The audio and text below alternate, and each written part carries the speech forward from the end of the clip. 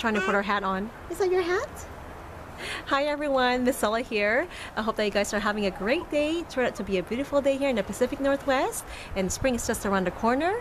Our garden is starting to come back to life so I just want to take a quick tour or take you on a quick tour of the garden and see what's sprouting back up.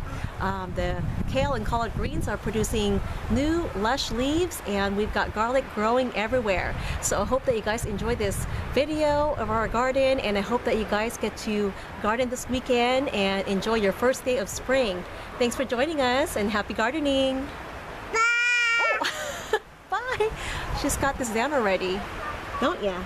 Let's put this hat back on. Oh, it's windy. Yeah, it's really windy. So this is the southeast part of the garden. It's actually pretty close to the backyard. Um, we got a couple of garden boxes back here. This is a 4x4 garden box full of garlic. So garlic all over there.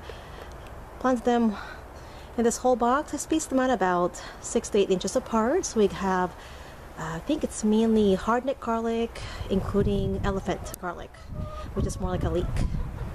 Next to the garlic, here's another garden box. It's about three feet wide and I think I believe five feet long. It's a strawberry bed and it needs to be moved to the backyard because it's not getting enough sun.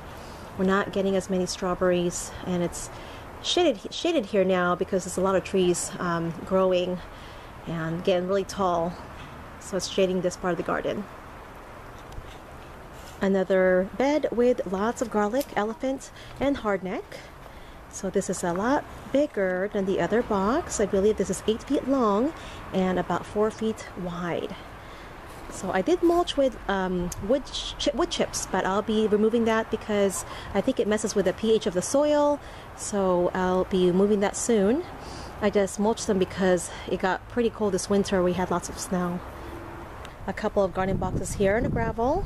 Both have garlic in them. Zoom into this one here. I've only planted garlic here so far. And over in this one I have kale and collard greens from last season.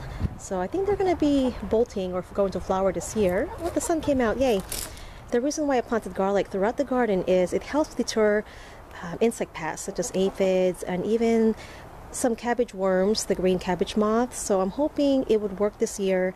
Um, hopefully uh, my collard greens and my kale won't get infested again with aphids last like last year. So hopefully it will help. And also as the garlic matures it produces more sulfur which also acts as a fungicide which is great to have around your other plants. I've got some rosemary here. Um, I think that's lemon balm in there. So they're slowly coming back. See little sprouts there? So on the edge of the garden here I've got mainly herbs or herbs this is oregano and I got some chocolate mint in there somewhere tiny leaves so you can't see it right now. They haven't sprouted back up yet, quite yet. More lemon balm here, there's some brown twigs. More lemon balm and then I think the last shrub there is more oregano. Now the reason why I have lemon balm scattered all over the garden is because they help repel mosquitoes and we've had great success with that because we haven't had that many mosquitoes the past couple of years since we planted lemon balm. I think that was three years ago, but they started started maturing, and so they're growing all over the place. So I kind of planted them around um, the border of the garden. Oh, hi! of our bigger garden boxes, the 8 by 4 so I've got garlic planted along the border here as well as on the other side. I also have a few garlic inside the garden box planted along um, the side of the collard greens and kale. So some of these were planted la late last summer. So they're still pretty young plants. And on this garden box with the trellis, we have some garlic again planted along the side. Let me zoom in. In there. And then some Russian kale, um, curly leaf kale. I think there's a collard greens plant at the end. I think I'm going to be planting some beets in between the garlic and the kale and collard greens. So, and behind there, I don't have anything growing. I did grow tomatoes the past couple of years in behind this um, garden box, but I'll be rotating and I'll be moving them on the other side.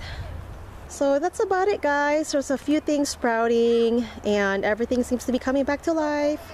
So I gotta go hang out with the kids now and play some ball.